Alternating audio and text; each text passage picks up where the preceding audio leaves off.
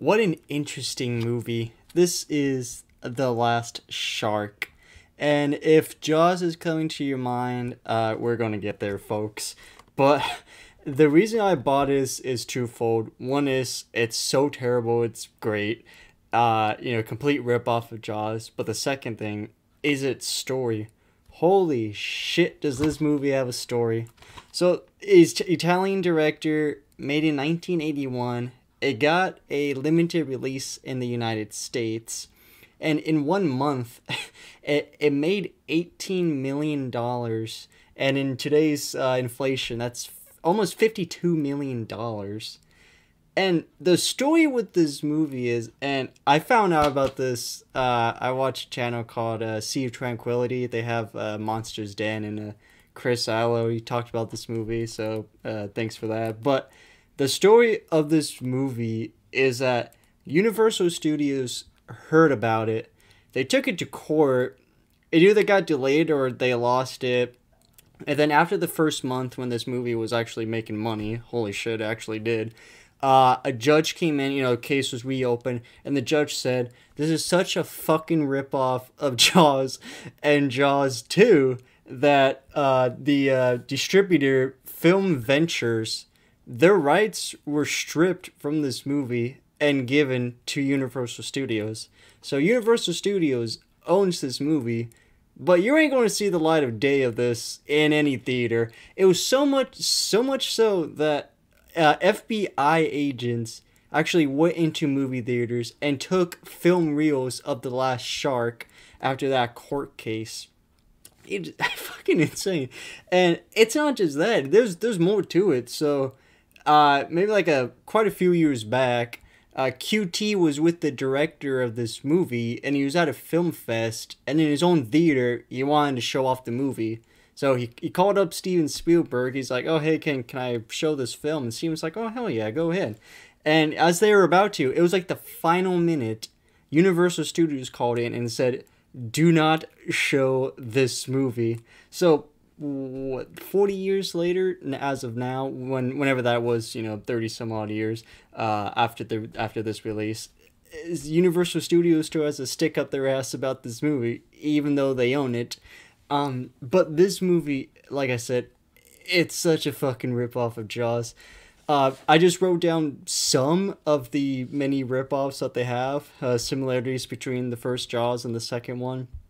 So, of course, there's an island town that's having a 4th of July celebration. Of course, the big old sharks attacking and killing people. And then the mayor, of course, he doesn't want to close down because it's going to make a shit ton of money. There's the helicopter attack scene from Jaws 2. And there's also a boat scene with a bunch of kids, which is also from Jaws 2. There, and then, of course, there's a rip-off Quint character that has the worst accent known to man. Now, you might be wondering, well, this is a rip-off Jaws movie. What does the shark look like? Well, there's the good, there's the bad, and there's the ugly, folks. Let's start off with the good. So the good, the good, the good is that it's actually in in scenes. There is a animatronic, you know, mechanical shark head coming out of the water, which actually looks kind of good. It reminds me of I don't know if it's still there or not that uh, Universal Studios ride of Jaws when its head pops out, and then later on, you know, with the electrical cords, it's all burnt. But that scene is actually those scenes are actually pretty good. The bed is horrible, horrible stock footage. Like the lighting doesn't even match at all with the entire movie. And in fact, one of the stock footage is actually that of a mako shark, I believe, instead of a great white. So uh, we're off to a great start here, folks.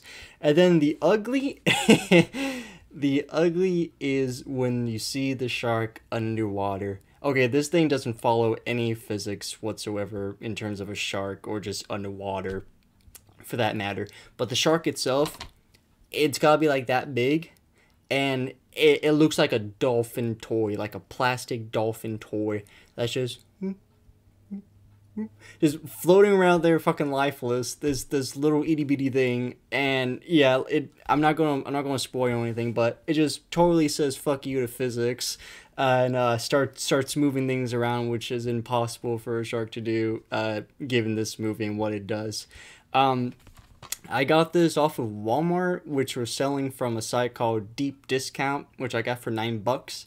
That site, imagine a $5 Walmart bin and then the bottom floor was actually a false flooring. You pick that up, and then you see those even more shitty movies. Yeah, those are the type of movies that site's selling. I got this, you know, at the end of the day, it was nine bucks. So fucking worth it. Um, there is, which I found out later, that somebody uploaded the entire movie on YouTube, which you can watch for free. And I will have that inside the description if you want to check that out. But as for that, The Last Shark, it is so fucking terrible. It's great. And the story involved with it just makes it so much better. So uh, just check it out if you want to. But otherwise, this was such a fun ass time watching this movie. So thank you so much for watching. Take care.